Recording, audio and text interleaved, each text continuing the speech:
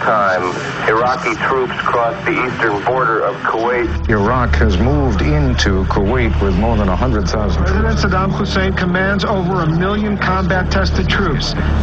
Am 2. August 1990 überqueren Saddam Husseins Truppen die Grenze nach Kuwait und lösen die größte internationale Krise seit dem Zusammenbruch der Sowjetunion aus.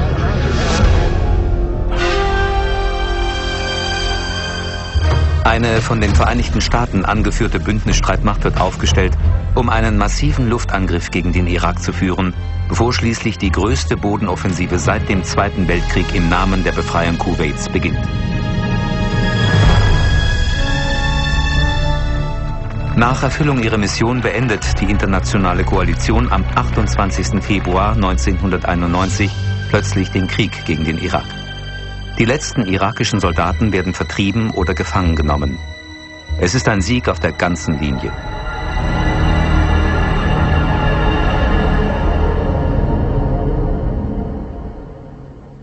Das über den Irak verhängte Embargo, das Saddam zum Rückzug aus Kuwait zwingen sollte, ist jedoch zehn Jahre danach noch immer in Kraft.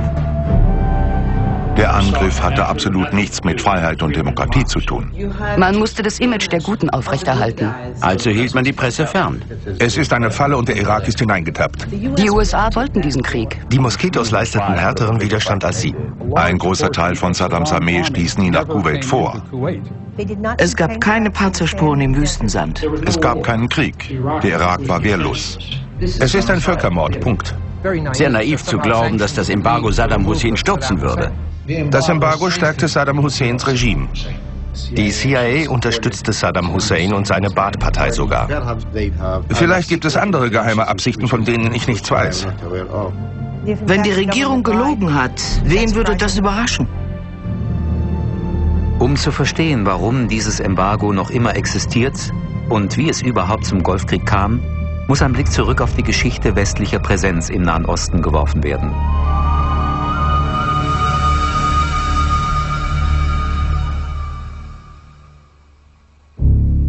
In den 20er Jahren des 20. Jahrhunderts entdecken europäische und amerikanische Ölgesellschaften die ersten Ölfelder im Nahen Osten und beginnen mit der Ölförderung. Das Potenzial dieser Ölfelder sollte später insbesondere für das ölarme Europa eine bedeutende Rolle spielen. Die Gewinnspannen sind enorm, während der Anteil für die nahöstlichen Regierungen minimal bleibt. Öl von der Quelle kostet kaum mehr als Mineralwasser. Der Zweite Weltkrieg verändert die Lage.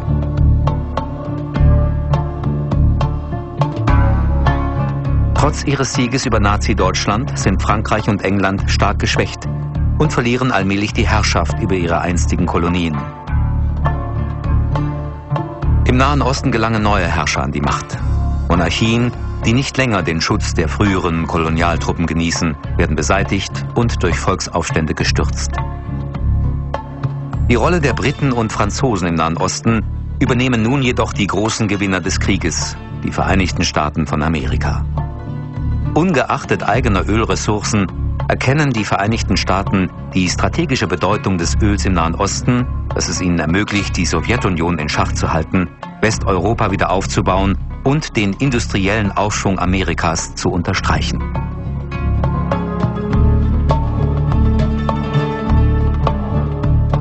Washington hofft auf eine Fortsetzung der billigen Ölbeschaffung wie in Vorkriegszeiten. Die neuen Regierungen im Nahen Osten haben jedoch andere Vorstellungen und lösen, als sie die Kontrolle über die Schätze ihrer Länder wiedergewinnen wollen, eine panische Kettenreaktion in Washington, London und Paris aus.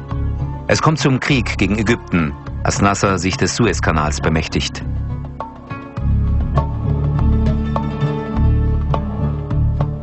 Im Iran verstaatlicht Mossadegh die Ölfelder und verweist die britischen Ölgesellschaften des Landes. Später wird er durch einen Staatsstreich gestürzt, an dem die CIA nicht unbeteiligt ist und der den Schah zurück an die Macht bringt. Als im Irak General Abdel Karim Qassem die Herrschaft erlangt und die Ölfelder verstaatlicht, macht im Westen der Aufschrei Kommunismus die Runde.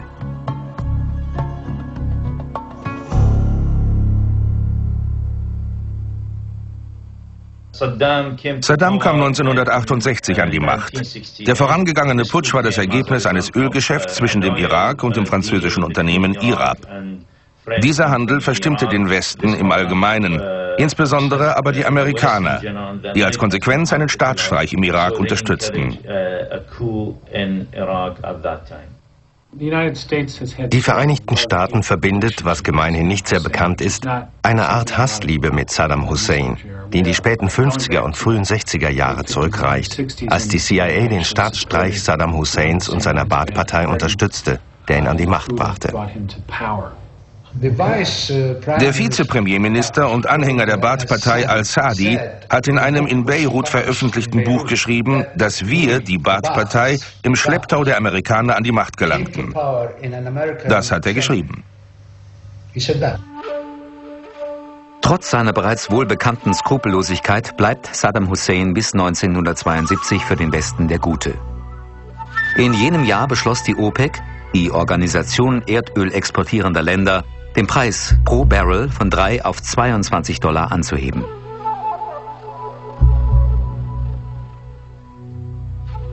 Der Irak schließt sich dem an und verstaatlicht seine Ölfelder. Saddam wird von Washington daraufhin als unzuverlässig eingestuft und in Konsequenz als terroristischer Machthaber gebrandmarkt. Die ganze Unterstützung der Vereinigten Staaten konzentriert sich nun auf den langjährigen Verbündeten in der Region, den Schah des Iran. Ab 1953 war der Schah 25 Jahre lang der Statthalter der Vereinigten Staaten am Persischen Golf und dem Nahen Osten. Zwischen 1972 und 1976 verkauften ihm die Vereinigten Staaten Waffen im Wert von ungefähr 22 Milliarden Dollar. Der Schah war unser Mann.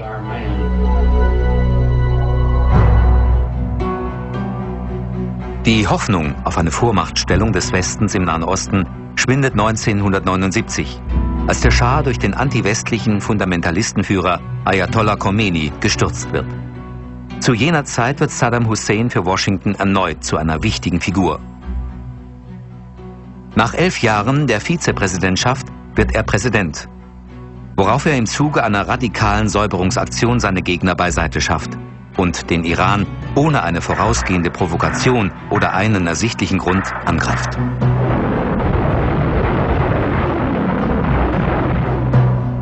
Das Stockholmer Institut für Friedensforschung hat festgestellt, dass 52 Länder Iran oder Irak mit Waffen beliefert und 29 Länder beide Seiten mit Waffen unterstützt haben.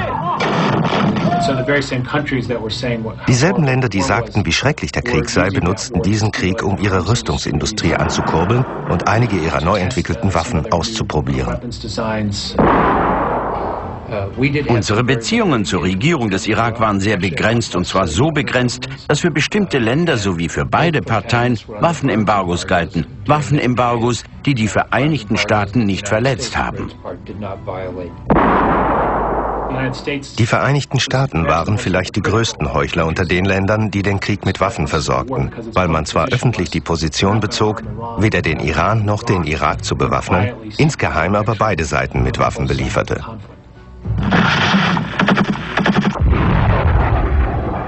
Saddam Husseins Streben gilt jedoch der Entwicklung eigener, nicht konventioneller Massenvernichtungswaffen. Eine vom amerikanischen Kongress 1992 durchgeführte Untersuchung stellt einen nicht unerheblichen Beitrag Amerikas zur Verwirklichung dieses Ziels fest und belegt weiter, dass die CIA und das amerikanische Außenministerium umfassend informiert waren. Bereits in den 70er Jahren gaben Berichte Auskunft über den Umfang der irakischen Anstrengungen zur Herstellung von Massenvernichtungswaffen und den wiederholten Einsatz von Chemiewaffen gegen iranische Truppen und kurdische Oppositionelle. 1988 hatten wir keine Ahnung davon, dass Saddam Hussein chemische Waffen gegen sein eigenes Volk einsetzen würde. Hätten wir es vorher gewusst, hätte unsere Politik damals sicher anders ausgesehen. Die US-Regierung sieht sich nun Fragen nach dem Sinn der enormen Kredite an den Irak ausgesetzt, die eigentlich zum Kauf amerikanischer Agrarprodukte gedacht sind, aber stattdessen zur Beschaffung von Hubschraubern, Panzerfahrzeugen, unverhältnismäßig hohen Mengen an Pestiziden, Bakterien und neueren Waffentechnologien verwendet werden. Unter den Präsidenten Reagan und Bush schmettern das US-Außenministerium und das Weiße Haus jegliche Auskunftsgesuche des Kongresses und des Finanzministeriums systematisch ab.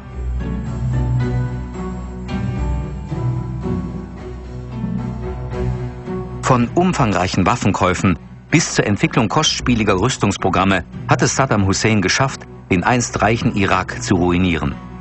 Am Ende seines Krieges gegen den Iran 1988 steht das Land mit 40 Milliarden Dollar in der Kreide. Und genau zu diesem Zeitpunkt, als der Irak ab 1988 verzweifelt versucht, seine Gewinne aus der Erdölförderung zu maximieren, beginnt sich eine weitere Krise abzuzeichnen.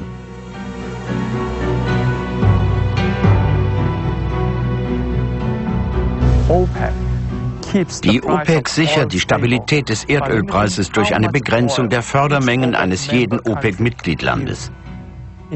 Nach dem Ende des irakisch-iranischen Krieges erhöhte Kuwait 1989 seine Fördermengen plötzlich um 20 Prozent und löste damit einen Preisverfall für Erdöl auf dem Weltmarkt aus. Als Folge des kuwaitischen Produktionsanstiegs verlor der Irak fast ein Drittel seiner Erdöleinnahmen. Und das zu einer Zeit, in der der Irak verzweifelt Geld brauchte. Für die Irakis war es, als würde Kuwait ihnen in den Rücken fallen. Vom Westen begrüßt, trifft dieser Schritt Kuwaits sowohl die Wirtschaft als auch den Stolz Iraks. Denn die Irakis haben nicht vergessen, dass Kuwait vor der Abtrennung durch die Briten 1928 zu ihrem Territorium gehörte. Während der folgenden Monate eskalieren die Spannungen bis zu einem Punkt, an dem Saddam Hussein Kuwait öffentlich droht. Angesichts der Tatsache, dass Kuwait einer der wichtigsten Erdöllieferanten des Westens ist, fällt die offizielle Reaktion des US-Außenministeriums auf das Säbelrasseln Husseins ziemlich überraschend aus. There are no special defense or security commitments to Kuwait. Indirekt ermutigten die Amerikaner Saddam Hussein dazu, in Kuwait einzumarschieren. Wenn aber die Stabilität im Nahen Osten tatsächlich ein für alle erstrebenswertes Ziel ist, warum hat dann der Westen einen solch brutalen Diktator wie Saddam Hussein mit Krediten, Waffen und moderner Technologie bedient? Und warum hat das US-Außenministerium Saddam wiederholt signalisiert, dass es kein Verteidigungsabkommen mit Kuwait gebe. Es dürfte niemanden überraschen, dass wir am Ende eines Krieges, um die daraus resultierende Bedrohung für die Region zu verringern, beide Seiten in eine produktivere Richtung zu lenken versuchten. Also auch den Irak. I do not say ich sage nicht, dass die irakische Invasion Kuwaits etwas ist, mit dem irgendein arabisches Land einverstanden sein kann. Das nicht. Aber die Art der Umstände und die Ereignisse vor der Krise legen uns allen den Schluss nahe, dass Pläne existiert haben müssen, um den Irak in diese Situation zu bringen. Es war eine Falle. Und der Irak ist unglücklicherweise hineingetappt. Überzeugt davon, dass die US-Regierung nicht eingreifen wird, marschiert Saddam Hussein am 2. August 1990 in Kuwait ein. Während amerikanische Regierungsvertreter öffentlich ihre Bestürzung und Überraschung zum Ausdruck bringen, ist man im Pentagon bereits für Gegenmaßnahmen gerüstet, denn genau diese Situation hat man schon Monate vor dem irakischen Angriff auf Kuwait durchgespielt. In einer Militärsimulation mit Namen Internal Look probten wir unsere Leistungsfähigkeit für dieses bestimmte Szenario. Nicht zuletzt, um eventuell bestehende Kommando- und Grundsatzprobleme aufzuzeigen, die zwischen der Luftwaffe, der Marine und den anderen Streitkräften existieren könnten. Und während dieser Übung entwickelte sich die Krise am Golf. Prior to that, alle Offiziere erzählten uns während der Trainingsphase von Truppenzusammenziehungen und davon, dass der Irak möglicherweise in Kuwait einmarschieren und Kuwait angreifen könnte. Und sie sagten uns, wir sollen darauf vorbereitet sein, weil die Situation ernst sei und dass sie dies schon seit ungefähr zwei Jahren wüssten. Es war also bereits einiges im Gange. Sie wussten, dass sie wahrscheinlich eingreifen würden und bereiteten uns auf die Operation Wüstensturm vor. Nur wenige Stunden nach Saddams Einmarsch werden sämtliche irakische Bankkonten in den Vereinigten Staaten eingefroren. Und noch bevor sich die Vereinten Nationen beraten können, beginnt die US-Marine mit der Errichtung einer Blockade vor der irakischen Küste. Einige Tage später fliegen Delegationen des amerikanischen Außen- und Verteidigungsministeriums nach Riyadh, um die saudische Regierung davon zu überzeugen, dass die irakischen Truppen eine echte Bedrohung der Grenzen Saudi-Arabiens darstellen. In der offiziellen Pressemitteilung ist von Satellitenaufnahmen die Rede, die den Saudis als Beweis für die Verdichtung irakischer Truppen an der saudischen Grenze vorgelegt werden. Das Verteidigungsministerium hat nie Fotos veröffentlicht, die das belegt hätten. Ich bezweifle, dass es sie überhaupt gibt. Im Januar 1991 veröffentlicht die St. Petersburg Times gemeinsam mit dem US-Fernsehsender ABC einen Bericht, der sich auf die Bilder eines Nachrichtensatelliten stützt, die zum Zeitpunkt des Einmarschs von Saddam über Saudi-Arabien und Kuwait gemacht worden waren. Der Flughafen der kuwaitischen Hauptstadt schien verlassen zu sein, was nicht sein konnte. Um eine Viertelmillion Soldaten zu versorgen, wären aber große Mengen an Lebensmitteln, Ausrüstung und Treibstoff für die Panzer erforderlich gewesen. Es gab keine Panzerspuren im Wüstensand und die hätten nicht einfach verweht worden sein können. Denn auf Satellitenbildern sind selbst heute noch Spuren im Sand der nordafrikanischen Wüste zu erkennen, die aus dem Zweiten Weltkrieg stammen. Ich war mit dem Pressesprecher des Verteidigungsministeriums persönlich bekannt und sagte ihm, Sie wissen, wer ich bin. Wir kennen uns schon lange. Lassen Sie mich in Ihr Büro kommen und einen Blick auf ein paar der Satellitenaufnahmen des Geheimdienstes werfen. Geben Sie mir den Beweis dafür, dass ich Unrecht habe. Ich muss die Bilder nicht aus dem Gebäude tragen. Ich muss muss sie nicht kopieren. Beweisen Sie uns, dass wir uns irren und wir werden diesen Bericht nicht bringen. Aber er weigerte sich. Jeder, der diese Geschichte und die Satellitenbilder kannte, ist zu der Überzeugung gelangt, dass die Regierung die Saudis und die Welt belogen hat damit man sie bitten würde, in den Nahen Osten zu kommen und die Unschuldigen zu schützen. Und was sagt das über die Regierung? Wenn die Regierung tatsächlich gelogen hat, wen würde dies überraschen? Does that surprise anyone? Aber wenn die US-Regierung die Saudis tatsächlich über die irakische Bedrohung ihrer Grenzen täuschte, welchen Zweck verfolgte sie damit? Seit dem Zweiten Weltkrieg hatten US-Regierungen zahllose Versuche unternommen, die Saudis davon zu überzeugen, ihre überwiegend dem christlichen Glauben angehörenden Soldaten im heiligen Land Mekkas zu dulden, angeblich zum Schutz Saudi-Arabiens, in Wahrheit jedoch um die riesigen Ölfelder des Landes zu sichern. Ein Ansinnen, das seit der Erhöhung des Erdölpreises durch die OPEC in den frühen 70er Jahren nur noch an Bedeutung gewonnen hat und durch den berühmten Ausspruch von Außenminister Kissinger, dass Öl zu wichtig sei, um es den Arabern zu überlassen, auf den Punkt gebracht wurde. Über die Welt verteilt gab es Schwerpunkte, die sich in Militärkommandos widerspiegelten. Für die Situation in Europa war das die NATO, für den pazifischen Raum gab es ein Pazifikkommando und für den Atlantik ein Atlantikkommando. Für bestimmte Regionen der Welt gab es dies jedoch nicht und der Nahe Osten war eine solche Region. Das Problem war, dass kein arabisches Land eine große US-Militärbasis auf seinem Gebiet haben wollte. 1990 versuchte die Regierung Bush, die Saudis davon zu überzeugen, dass die Bedrohung durch die Irakis real war, weil wir nicht in ihr Land konnten. Die Alliierten, die Franzosen, die Amerikaner und die anderen konnten ohne Ersuchen der Saudis nicht in das Land. Die Saudis mussten sich bedroht fühlen, um die Alliierten um Schutz zu bitten. Am 7. August 1990 akzeptiert die saudische Regierung offiziell das beharrliche Schutzangebot Washingtons. Bereits am folgenden Tag beginnt die US-Militärmaschinerie einzufliegen, ohne dass der Kongress davon informiert worden war. Innerhalb weniger Monate werden mehr als eine halbe Million amerikanische Soldaten in Saudi-Arabien stationiert. Nachdem die Saudis erfolgreich überredet worden sind, müssen nun die amerikanische Öffentlichkeit und die Welt davon überzeugt werden, dass die Bedrohung wirklich existiert und dass dies den Aufbau einer gigantischen US-Militärpräsenz in Saudi-Arabien rechtfertigt. Inzwischen steigt im Hauptquartier der Vereinten Nationen in New York der Druck, eine diplomatische und friedliche Lösung für die Krise zu finden. Nous privilégions la solution pacifique. That force does not have to be inevitable. The issues at stake by peaceful means. Indeed, a peaceful solution is the desire of us all. Andere denken jedoch bereits an Krieg.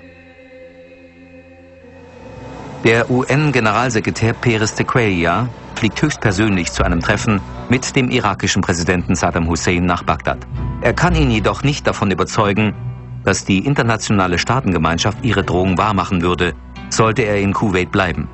Auf die fehlgeschlagene Mission reagiert man bei seiner Rückkehr nach New York jedoch nicht nur mit Verzweiflung und Enttäuschung.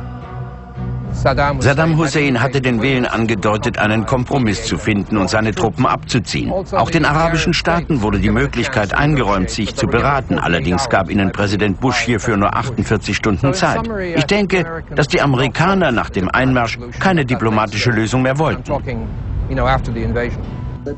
Als die USA die Zustimmung des UN-Sicherheitsrats für den Krieg anstrengten, stimmte der Jemen gegen die Resolution.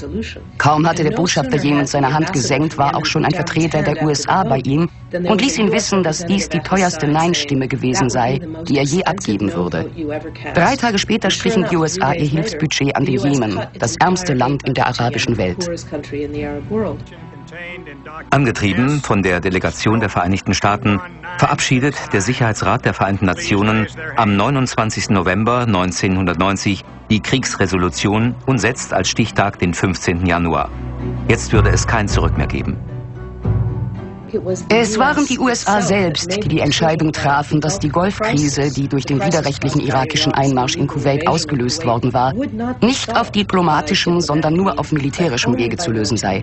Die Vereinigten Staaten wollten diesen Krieg. Iraq and its leaders must be held liable for these crimes of abuse and destruction. Am 17. Januar 1991 bricht um 3 Uhr morgens irakischer Zeit die Hölle über Bagdad herein. Die geballte Feuerkraft der Koalition, die während der vergangenen fünf Monate unter Federführung der Vereinigten Staaten zusammengezogen worden war, stellt ihre ungeheure Schlagkraft unter Beweis. Fernsehsender auf der ganzen Welt zeigen Bilder einer angeblich narrensicheren, höchst präzisen Aktion, deren gezielte Bombardements, wie man behauptet, ausschließlich militärische Ziele der Irakis treffen.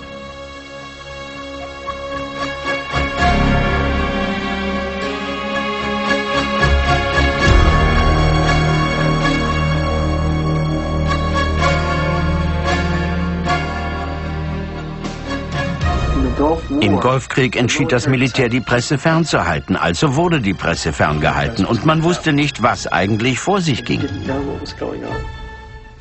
Eine typische Aussage der US-Militärs zum Beispiel war, dass die Bombardierung des Iraks auf den Punkt genau gewesen sei. Nichts entspricht jedoch weniger der Wahrheit. 110.000 Lufteinsätze, 88.500 Tonnen Bomben, siebeneinhalb Mal so viel wie in Hiroshima in 42 Tagen. Die Wahllosigkeit der Bombardements war offensichtlich.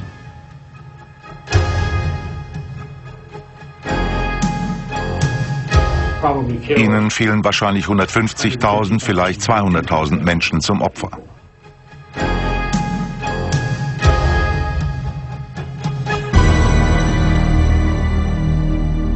Die Bombardierungen belegen ohne jeden Zweifel, dass die Vereinigten Staaten die Zerstörung der wirtschaftlichen Versorgung des irakischen Volkes vorsätzlich planten.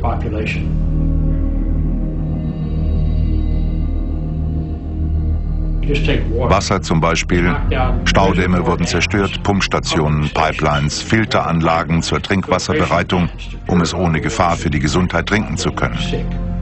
Bei der Nahrungsversorgung attackierte man systematisch die Transportkette von einem Ende des Landes zum anderen. Die gesamte Stromversorgung wurde innerhalb von Stunden lahmgelegt. Das gesamte Kommunikationssystem, der Verkehr. Man bewies, dass man ein Land durch Marschflugkörper und Luftangriffe zerstören und seiner lebenswichtigen Versorgungssysteme berauben konnte, ohne dieses Land überhaupt je betreten zu müssen. Am 23. Februar 1991 marschieren die alliierten Bodentruppen in Kuwait ein. Ihre Offensive dringt schnell und tief in Kuwait vor, ohne dabei auf nennenswerten Widerstand zu stoßen. Vom irakischen Militärmonstrum ist weit und breit keine Spur. Und die tatsächlich noch in Kuwait verbliebenen Truppen sind schlichtweg kein Gegner für die moderne Armee der Alliierten. Als wir in Kuwait einmarschierten, rechneten wir mit dieser 5 Millionen Mann starken Armee. Aber was wir antrafen, sah eher wie ein Rudel Zwergpinscher aus. Die Moskitos leisteten härteren Widerstand als sie. Wir wussten, dass wir weitaus besser ausgerüstet waren als sie. Das waren einfach ganz normale Leute. Wenn jemand an der Haustür klopft und sagt, entweder kämpfst du gegen die Amerikaner oder ich bringe deine Familie um, dann sagt man natürlich, gib mir das Gewehr. Diese Kerle wussten noch nicht einmal, wie sie ihre Waffen abzufeuern hatten. Wenn man ihnen die AK-47 abnahm, war die voller Sand. Was sollte das alles? Als sich Ende Februar 1991 der aufgewirbelte Wüstensand der alliierten Bodenoffensive wieder zu setzen beginnt, ist zur großen Überraschung nichts von der mächtigen irakischen Armee zu sehen, von der Washington zuvor berichtet hatte. Mitte September hatte die Regierung Bush von 250.000 irakischen Soldaten und 1.500 Panzern gesprochen, die an der saudischen Grenze zusammengezogen wurden. Ich sage nicht, dass keine Soldaten da waren. Die Menschen, die aus Kuwait flohen, kamen an irakischen Soldaten vorbei. Es gab sie also, nur wahrscheinlich nicht in einer Größenordnung, die eine Gefahr für Saudi-Arabien hätte bedeuten können. Vergessen Sie nicht, ein Großteil von Saddams Armee stieß nie nach Kuwait vor. Er hielt starke Truppenverbände an der Grenze zum Iran und in der Hauptstadt zurück, insbesondere seine republikanische Garde. Die nächste Überraschung folgt am 28. Februar 91 mit der Verkündigung eines Waffenstillstands, während die alliierten Streitkräfte bereits tief in den Irak vorstoßen. Die Marines nahmen ganz Kuwait in weniger als 24 Stunden ein. Die Armee drang vom Süden Iraks vor und nahm diesen innerhalb von 24 Stunden ein. Dann war plötzlich Schluss und alle fragten sich, warum haben wir Saddam nicht geschnappt? Man hatte das Gefühl, seinen Job angefangen, aber nicht zu Ende gebracht zu haben. Es war eine halbe Sache. Das US-Militär hätte in weniger als 24 Stunden in Bagdad einmarschieren können. Es war eine politische Entscheidung, dies nicht zu tun.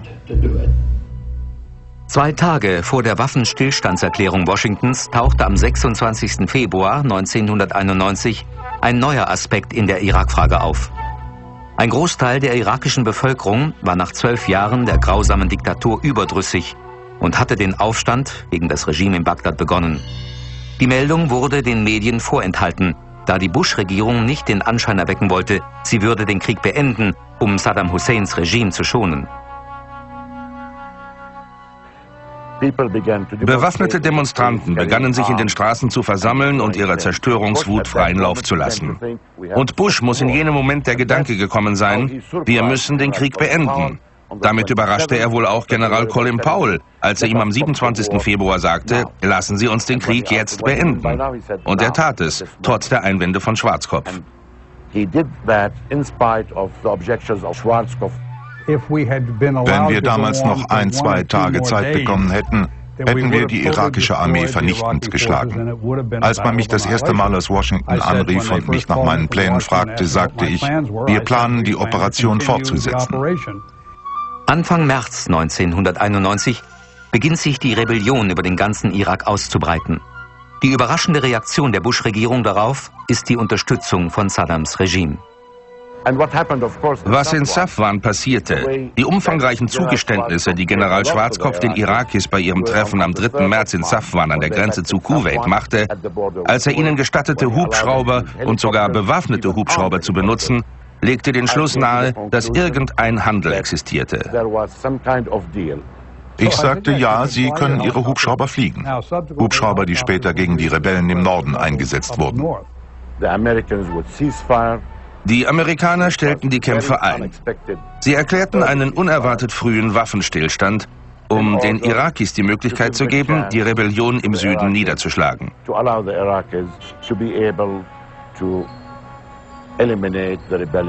Während der nächsten zwei Jahre gab es keinen nennenswerten Versuch, das irakische Regime in Bagdad zu stürzen. Und es fanden auch keine amerikanischen Angriffe statt, obgleich es viele Gründe dafür gegeben hätte. Präsident Bush drohte so oft mit einem erneuten Krieg, weil der Irak sich nicht an die Abmachung der UN-Resolution 687 hielt. Richtige Kämpfe gab es jedoch nicht. Der Krieg fand nicht statt.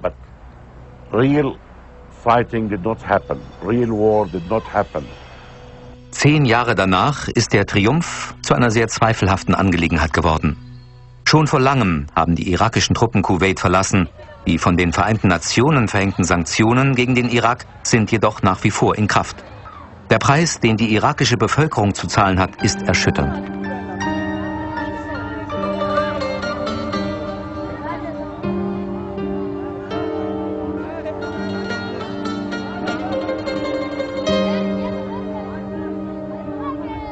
Noch nie sind gegen irgendein Land ähnlich rigorose und streng überwachte Sanktionen verhängt worden, wie die gegen den Irak.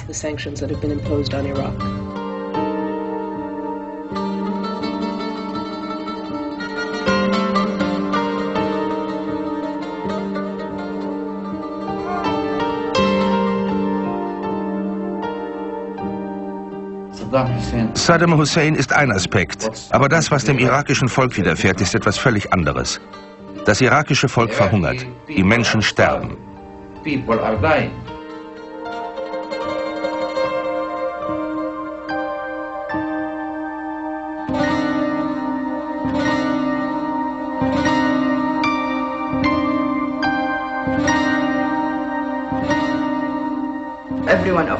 Jeder von uns hat Kinder oder Familienmitglieder verloren.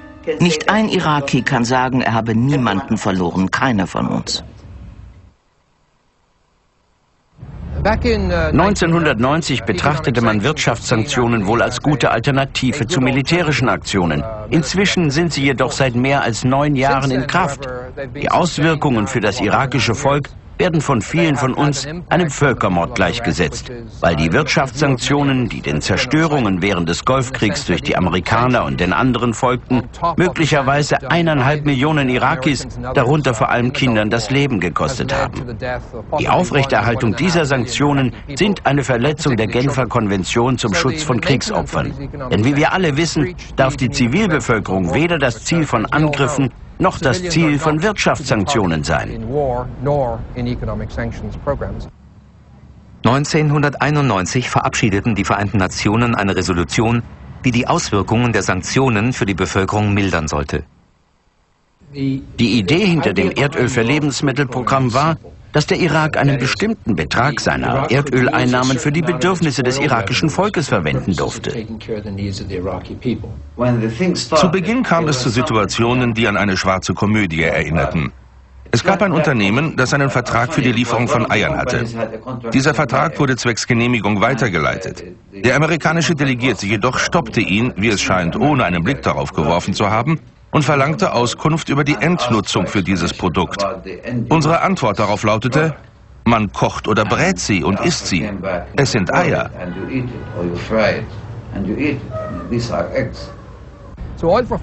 Meiner Ansicht nach hat das Öl für Lebensmittelprogramm versagt, weil es an den Bedürfnissen des irakischen Volkes vorbeiging. Als Konsequenz sehen wir nach wie vor das Problem der Unterernährung und vor allem die hohe Säuglingssterbeziffer. Bei diesem ein Jahr alten Baby, einem kleinen Mädchen mit Namen Amel Salem, diagnostizierten wir eine Lungenentzündung. Wir konnten ihr jedoch nicht das geeignete Antibiotikum geben. Und daher ist sie gestorben. Es fehlt uns vor allem an wirkungsvollen Antibiotika. Hier hätten wir sie gebraucht. Wir hegen gegen das irakische Volk keinerlei Feindschaft oder Hass. Unser Problem ist die Regierung im Irak. Was denken sich die Vereinten Nationen und die Amerikaner, Sanktionen auf Arzneimittel zu verhängen? Nur Verrückte würden so etwas tun. Ich meine, es handelt sich um Arzneien. Was soll die Mehrfachnutzung denn sein? Sollen aus ein paar Tabletten vielleicht Atombomben gebaut werden?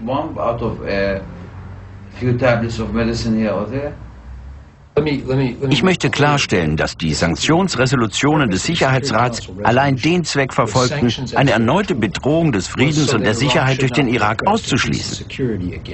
Wir fanden heraus, inwieweit die Irakis in der Lage waren, chemische Waffen, biologische Waffen, ballistische Raketen und Kernwaffen zu produzieren. Die Infrastruktur, die der Irak zur Herstellung dieser Waffen nutzte, ist weitgehend demontiert, zerstört oder unter die Kontrolle der Waffeninspektoren gestellt worden. Wir hatten also eine recht gute Vorstellung davon, was übrig bleiben sollte.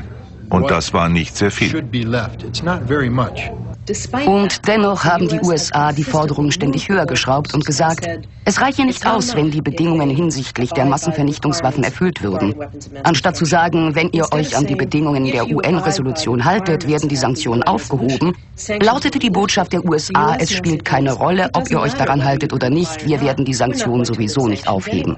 Anfänglich war die ANSCOM, die Chemiewaffeninspektionskommission im Irak, ein legitimes Mittel, um bedenkliche Waffen aufzuspüren und zu vernichten. Man war schon fast bereit, die Arbeit der ANSCOM zu beenden und den Irak als sauber zu betrachten, als Richard Butler ernannt wurde. Er rollte viele der bereits als gelöst erachteten Fragen erneut auf und schien der Untersuchungsarbeit wahrscheinlich mit Unterstützung der Vereinigten Staaten eine neue Wendung zu geben. Leider machte das Vorgehen des ANSCOM-Exekutivsekretärs im Zusammenspiel mit der Regierung der Vereinigten Staaten die ANSCOM für Manipulationen anfällig, die außerhalb der vorgegebenen Richtlinien lagen. Die Vereinigten Staaten und Großbritannien benutzten die ANSCOM als Auslöser für Militäraktionen. Sie benutzten die von den Waffeninspektoren zusammengetragenen Informationen, um Angriffsziele auszukundschaften. Das ist eine unbestrittene Tatsache. Und die ANSCOM ist dadurch als Organisation diskreditiert worden. Es ist richtig, dass eine Inspektionseinrichtung dieser Art politisch manipuliert werden und den aggressiveren Mitgliedstaaten als Rechtfertigung für weitere Militäraktionen dienen kann, was ja in gewisser Weise auch fast jeden Tag passiert, wenn britische und amerikanische Flugzeuge den Irak bombardieren. Die Amerikaner behaupten, die Bomben auf irakische Radarstationen zu werfen, was nicht stimmt. Sie bombardieren die Infrastruktur, die Wohnhäuser. Es gibt keinen Tag, an dem keine Bomben auf den Irak fallen. Aber darüber berichten die Medien nicht. Der Grund, warum man meiner Meinung nach in den ausländischen Medien nichts davon sieht, ist, dass die Meldung zu klein geworden ist. Es interessiert nicht mehr so sehr wie früher. Am 17. Januar 1993 ließ Bush 42 Raketen abschießen. Eine davon traf das Al-Rashid-Hotel, als ich mich gerade dort aufhielt.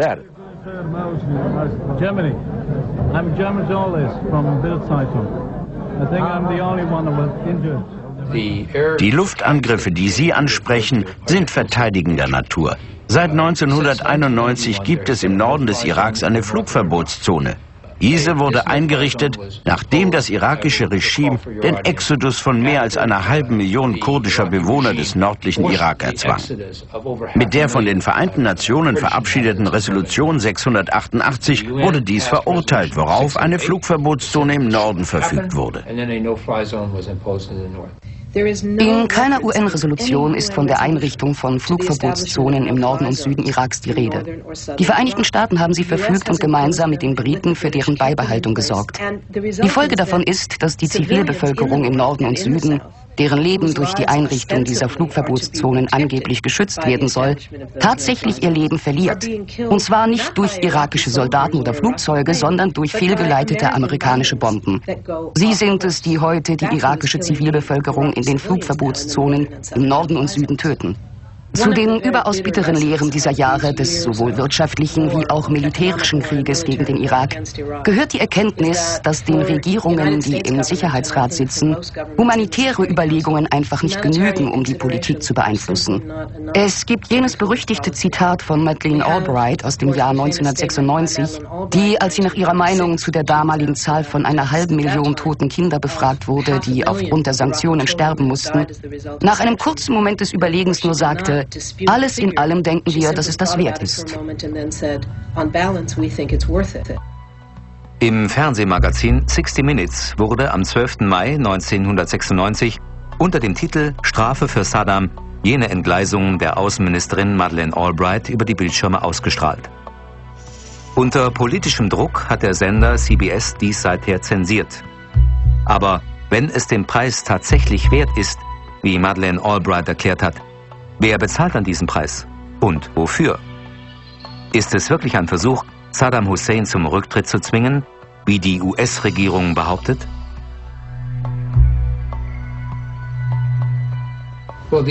Das Gesetz zur Befreiung des Iraks ist ein weiterer Ausdruck unserer Sorge über das Regime, das in Bagdad herrscht. Die Vereinigten Staaten sind der Auffassung, dass die Situation im Irak ungleich besser aussehe, wenn Saddam Hussein nicht mehr an der Macht wäre. Das vom Kongress verabschiedete Gesetz soll hierfür die Unterstützung und die Mittel sichern. Laut diesem Gesetz ist man bereit, der irakischen Opposition Ausrüstung für nicht-militärische Zwecke zur Verfügung zu stellen. Wobei man an Computer, Mobiltelefone, Schreibtische und so weiter denkt. Ich denke aber nicht, dass man Saddam Hussein mit Computern und Mobiltelefonen von der Macht wird vertreiben können. In anderen Teilen der Welt hat es Washington nie an Ideen oder Methoden gefehlt, wenn es darum ging, Regierungen loszuwerden, die man als feindselig erachtete. Als wir 1992 den irakischen Nationalkongress ins Leben riefen, verfolgten wir den Plan eines Aufstands, den nationalen Widerstand gegen das Regime. Im April 1995 begannen wir mit den Militäraktionen, aber die Amerikaner waren wieder einmal nicht gewillt, diesen Aufstand zu unterstützen, sodass Saddam ihn schließlich niederschlagen konnte.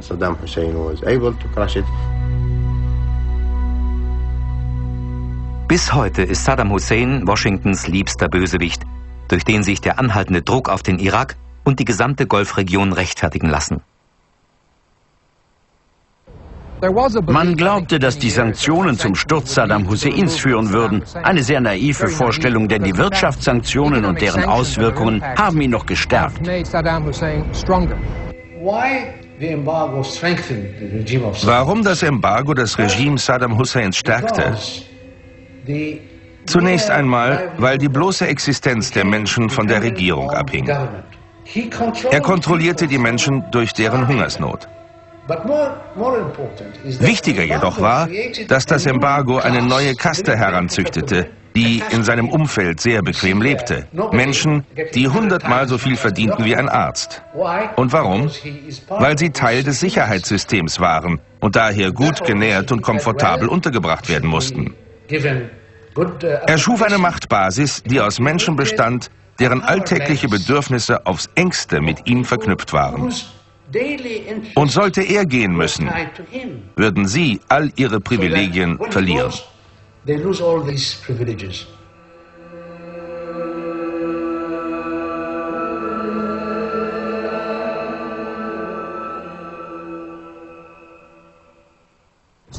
Die Sanktionen haben Saddam Hussein den Machterhalt gesichert. Und in der Welt gibt es nicht wenige, die genau dies für das Ziel der amerikanischen Politik halten. Dank der sogenannten Bedrohung durch Saddam Hussein konnten die Amerikaner Waffen im großen Stil an den Golf, an Israel, an Ägypten und an Saudi-Arabien verkaufen. Nach dem Golfkrieg haben die amerikanische Rüstungsindustrie und das Pentagon jeden Monat Waffen im Wert von ungefähr einer Milliarde Dollar in den Nahen Osten verkauft. 1990 beliefen sich die Geldreserven der erdölproduzierenden Länder auf hunderte Milliarden Dollar. Heute haben sie wahrscheinlich hunderte Milliarden Dollar Schulden. Saddam ist dem Pentagon aber auch noch für ein viel konkreteres Ziel von Nutzen. Die Vereinigten Staaten benötigten eine Rechtfertigung, um in der Region zu bleiben.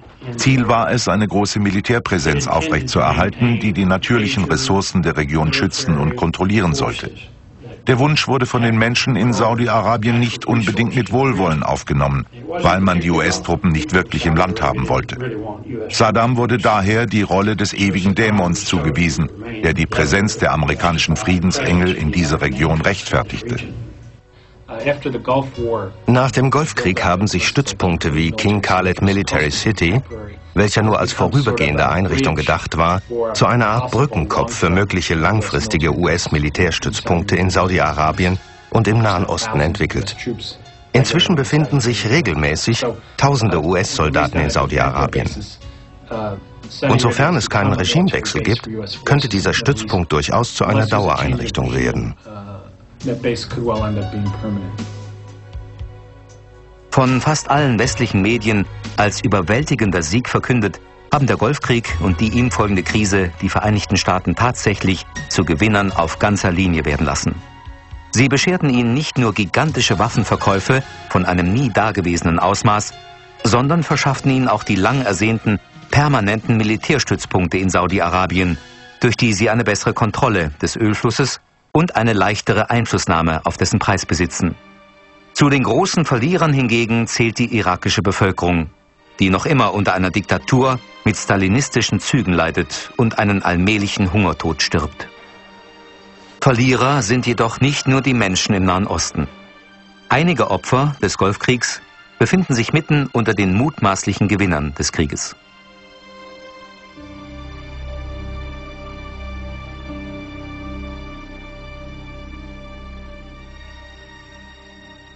...1991 waren die meisten Amerikaner sehr froh darüber, dass der Golfkrieg ein scheinbares Ende gefunden hatte. Es war ein schneller, entschlossener Sieg und Hunderttausende US-Soldaten konnten nach Hause zurückkehren, um ihn zu feiern. Einige Monate später jedoch stellten sich bei tausenden amerikanischen Kriegsteilnehmern gesundheitliche Probleme ein. Sie klagten über schmerzende Gelenke und über Gedächtnislücken. Sie waren anfälliger für Krankheiten, bekamen Hautausschläge. Es gab keine Erklärung dafür. Was die Art der von den Alliierten im Golfkrieg eingesetzten Waffen angeht, so kam der erste Hinweis von den Soldaten selbst. Und zwar sowohl von den britischen als auch von den amerikanischen Soldaten. Sie klagten über Symptome, die mit dem Golfkrieg und den verwendeten Waffen in Zusammenhang standen. Und bis man dies ernst nahm, hat es sehr lange gedauert. Denn es existierte eine Mauer des Schweigens. Die erste Reaktion des US-Militärs und der US-Regierung war, zu leugnen, dass es irgendwelche Probleme mit dem Gesundheitszustand der amerikanischen Kriegsteilnehmer gab. Man musste das Image der Guten aufrechterhalten, nämlich das der Alliierten und das des Bösewichts, welcher Saddam war. Saddam Hussein war es, der chemische Waffen einsetzen und der sein eigenes Volk und die Welt mit solchen Waffen angreifen würde. Es würde kein sehr vorteilhaftes Licht auf die Alliierten werfen, wenn nun herauskäme, dass sie selbst solch gefährliche Waffen eingesetzt hatten.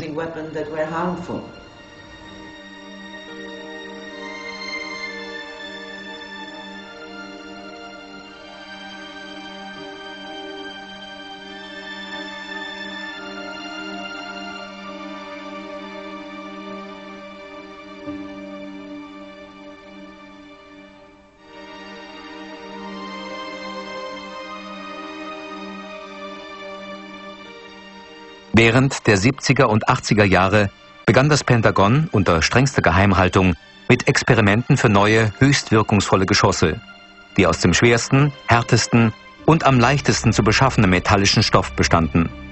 Ein Material, das sofort und ohne kostspieligen oder aufwendigen Abbau zur Verfügung stand und das sich im Überfluss im Besitz des amerikanischen Energieministeriums befand. Uranabfall. Das amerikanische Energieministerium sowie andere Nationen besitzen gewaltige Abfallberge und mussten eine Verwendung dafür finden. Munition aus abgereichertem Uran kam im Golfkrieg erstmals zum Einsatz. Es sind Geschosse, die alle bis heute bekannten Materialien durchdringen und durch dickste Panzerschichten schlagen, als wären diese aus Butter. Und die Kehrseite? Die Geschosse sind radioaktiv, enthalten Spuren von Plutonium des giftigsten Metalls der Erde und ihre Reste bleiben noch etwa viereinhalb Milliarden Jahre radioaktiv. Abgereichertes Uranium ist höchst gefährlicher Giftmüll.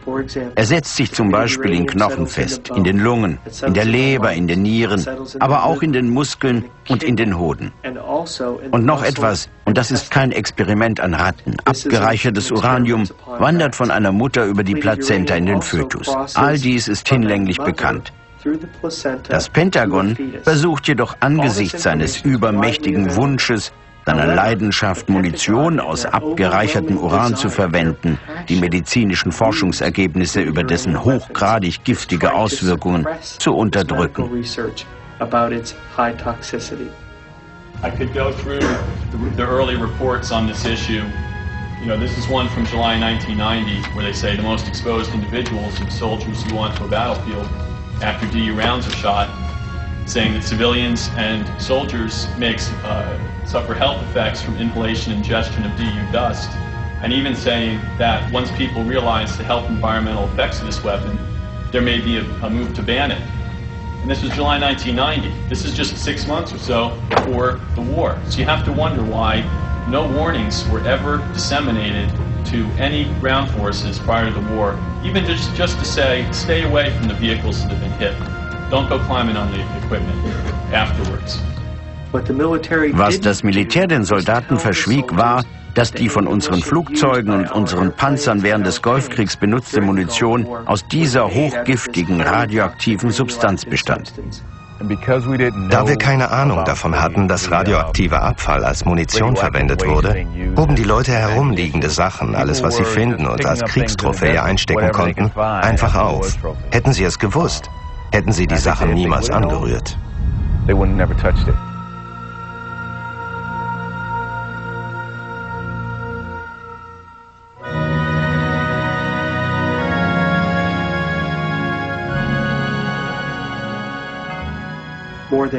Nach bestätigten Angaben haben mehr als 436.000 US-Soldaten diese radioaktiv verseuchten Gebiete betreten. Traurigerweise haben einige Soldaten in solchen Gegenden sogar bis zu zwei Monate lang kampiert, ohne auch nur das Geringste davon zu ahnen, ohne in irgendeiner Weise gewarnt worden zu sein.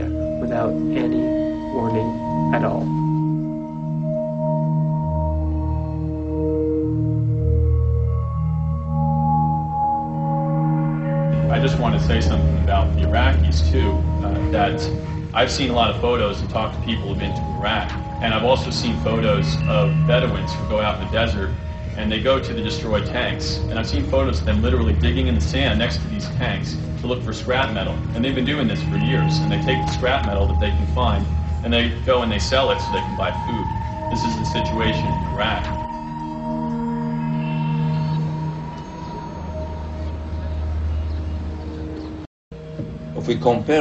Bei einem Vergleich der Sterbeziffer, das heißt, wenn wir die Zahl der an Krebs gestorbenen Patienten betrachten, ist festzustellen, dass wir 1988 lediglich 34 solcher Patienten hatten.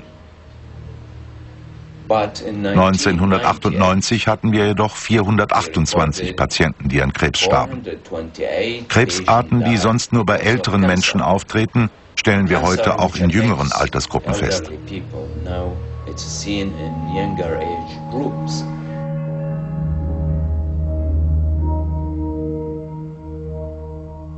Krebs und Tod ereilen die Kinder sogar noch vor ihrer Geburt. In der Kinderklinik beträgt die erschreckende Zahl missgebildeter Babys ein bis zwei pro Tag.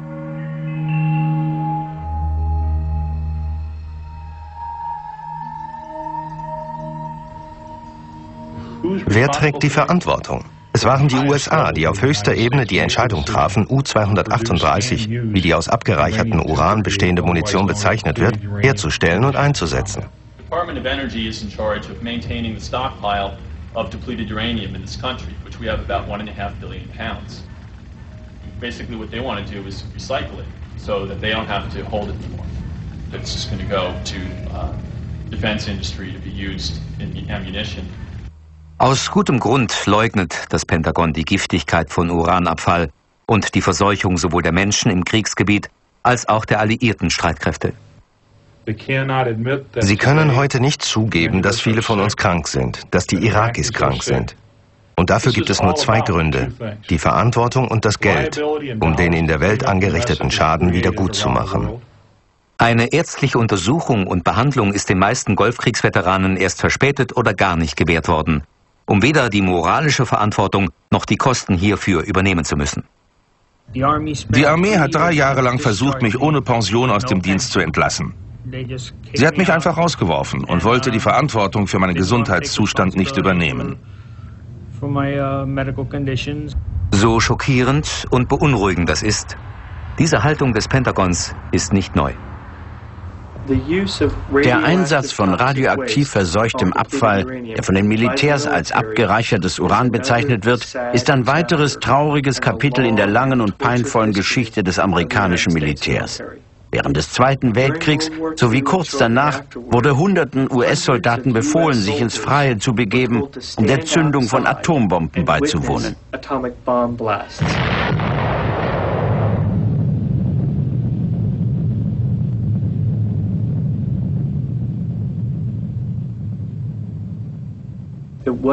Viele dieser ehemaligen Soldaten haben sich erst in den 90er Jahren zu Wort gemeldet und aufgrund der Tatsache, dass sie als menschliche Versuchskaninchen eingesetzt und finanzielle Entschädigung gefordert. Während der 60er und 70er Jahre setzten die US-Militärs ein Entlaubungsmittel mit dem Namen Agent Orange ein, das den tödlichen, krebserregenden Stoff Dioxin enthält. Dieses Mittel wurde über Bäumen und Sträuchern in Vietnam ausgesprüht, um sämtliches Laub zu vernichten. The debate went on for Agent Orange for years. That the Pentagon was saying no one was exposed to enough to cause any health problems. And we're in the same boat now with depleted uranium. Die Summe der Lügen, die die US-Regierung zu diesem Thema verbreitet hat, ist so ungeheuerlich, dass man es kaum fassen kann. Aber nicht nur in Kuwait und im südlichen Irak ist Munition aus abgereichertem Uran zum Einsatz gekommen. Auch im ganzen Kosovo und in Serbien wurde sie verwendet. Zudem wird sie tagtäglich zu Übungszwecken, beispielsweise in Vieques in Puerto Rico und Okinawa in Japan abgefeuert, ohne dass die örtliche Bevölkerung in irgendeiner Weise gewarnt wird. Bis heute sind es insgesamt 15 Länder, die Munition aus radioaktivem Abfall besitzen, verfeuern und sie bereitwillig jedem verkaufen, der sie haben möchte. Wir dürfen die Schlachtfelder nicht mit etwas übersäen, das noch viereinhalb Milliarden Jahre lang gefährlich bleibt. Die Welt muss den Einsatz von Urangeschossen verbieten. Viele weitere Gesetze und internationale Sicherheitsbestimmungen sind noch nötig, damit keine Regierung irgendeinem Volk oder Land der Erde ein solches Martyrium noch einmal aufbürden kann.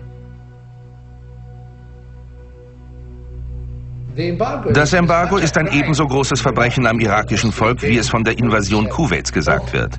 Beides ist kriminell. Beides ist für die Not dieses Volks verantwortlich. Die Not eines Landes, das Schätze besitzt, eine einzigartige Geschichte, eine gute Zivilisation und eine sehr fortschrittliche Mittelschicht. Aber all das ist nun zerstört. Die Vereinten Nationen brauchen unter anderem ein Kontrollgremium, das gewährleistet, dass die Resolutionen des UN-Sicherheitsrats nicht gegen internationales Recht verstoßen. Bei der Sanktionsresolution gegen den Irak handelt es sich um eine Entscheidung des Sicherheitsrats, die gegen grundlegendes internationales Recht verstößt, wie es von der Genfer Konvention festgeschrieben wurde. Gesetze, die besagen, dass Zivilisten nicht zur Zielscheibe werden dürfen. Aber genau das tun Sanktionen. Sie richten sich gegen die Zivilbevölkerung. Sie sind eine Verletzung internationalen Rechts.